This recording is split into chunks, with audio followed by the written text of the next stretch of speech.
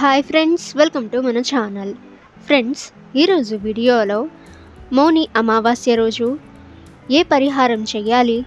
ఆ రోజు ఏ దేవాలయాలని మీరు సందర్శించాలి?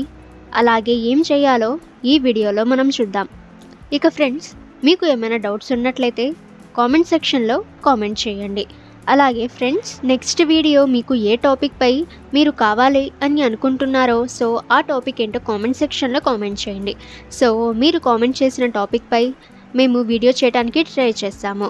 ఇక ఫ్రెండ్స్ ఈ వీడియోని మీ ఫ్రెండ్స్ అండ్ ఫ్యామిలీకి కూడా షేర్ చేయండి. హిందూ మత గ్రంథాల ప్రకారం ప్రతి సంవత్సరం జనవరి లేదా ఫిబ్రవరి మాసంలో మౌని అమావాస్య వస్తుంది.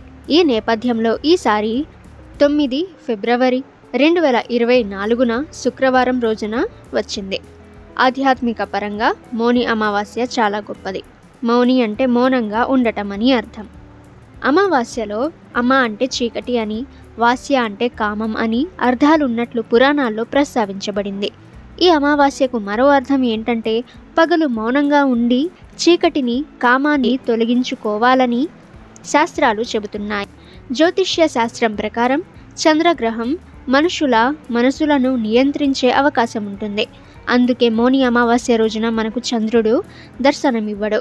అంతేకాదు ఈ రోజున మాట్లాడే మాటల వల్ల తీసుకునే ముఖ్యమైన నిర్ణయాల వల్ల శుభ ఫలితాలు రావని చాలామంది నమ్ముతారు. ఇదిలా ఉండగా మౌని అమావాస్య రోజున కొన్ని దేవాలయాలను తప్పక దర్శించుకోవాలని పండితులు చెబుతున్నారు.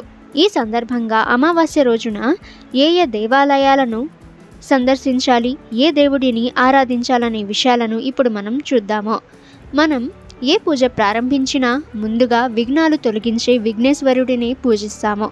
కాబట్టి మౌని అమావాస్య రోజున కాణిపాకంలో స్వయంభూ వరసిద్ధి వినాయకుడిని దర్శించుకోవటం వల్ల శుభ ఫలితాలు వస్తాయని పండితులు చెబుతున్నారు.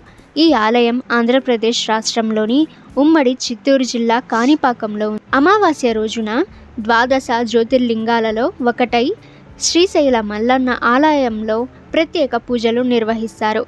ఈ రోజున స్వామివారిని దర్శించుకుంటే భూత ప్రేతాలు గ్రహ దోషాలన్నీ తొలగిపోతాయని ఆయురారోగ్యాలు సిద్ధిస్తాయని పండితులు చెబుతారు. అంతేకాదు ప్రతి నెల వచ్చే అమావాస్య సమయంలో తప్పగా ఈశ్వరుడిని దర్శించుకోవాలని అనుగ్రహం పొందాలని పండితులు సూచిస్తున్నారు. ఓకే ఫ్రెండ్స్ ఈ వీడియో మీకు నచ్చితే వీడియోని లైక్ చేయండి. అలాగే మీ ఫ్రెండ్స్ అండ్ ఫ్యామిలీకి కూడా షేర్ చేయండి.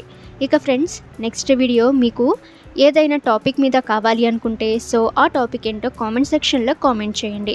ఇక ఫ్రెండ్స్ అందరికంటే ముందుగా మీరు మా వీడియోని పొందాలనుకుంటే మన ఛానల్ని సబ్స్క్రైబ్ చేసి బెల్ ఐకాన్ని ఆల్ మీద ట్యాప్ చేయండి.